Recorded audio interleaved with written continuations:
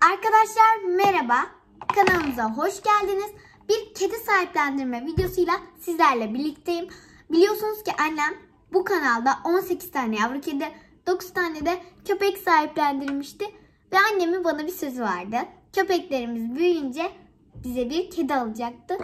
Ve arkadaşlar hop hop hop aldı arkadaşlar. Şu güzelliğe bakar mısınız? Evet arkadaşlar kedimizin daha ismi yok. Ben Zuzu olarak düşünüyorum. Ama eğer sizin de isim önerileriniz varsa lütfen yorumlara yazın. Bak bak bak pozla veriyormuş. Buraya gel Zuzucuğum. Evet arkadaşlar e, biliyorsunuz zaten biliyorsunuzdur zaten cinsini. Scottish Fold bunlar iki şey, çeşit iki çeşite ayrılıyorlar. Biri British Fold, biri Scottish Fold. E, British Fold'un kulakları böyle açık oluyor. Scottish Fold'un kepçe kulaklık kapalı oluyor yani. Bizimki Scottish Fold. E, bu şekilde kız daha 2 aylık. Bebek daha bebek. E, bu arada zaten su, kedilerin kuma direkt yapıyorlar yani. Kum eğitimi vermenize gerek olmuyor. Zaten Zuzu'da da öyle olmuştu. E, bir de bunların tüy yapıları var. E, long hair var. Bir de neydi ya? Şu an unuttum sen. Long hair bir de ah!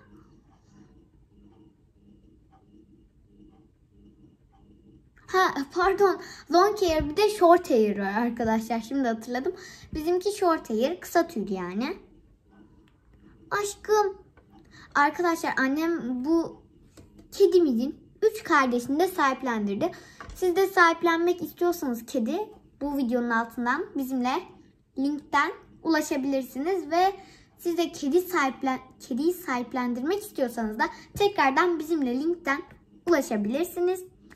Kanalımıza abone olmayı, like atmayı ve iyi yorumlar yazmayı unutmayın. Siz seviyoruz.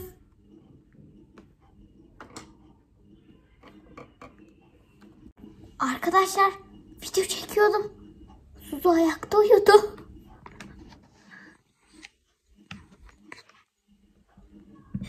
Arkadaşlar. Uyuyakaldı ayakta ya.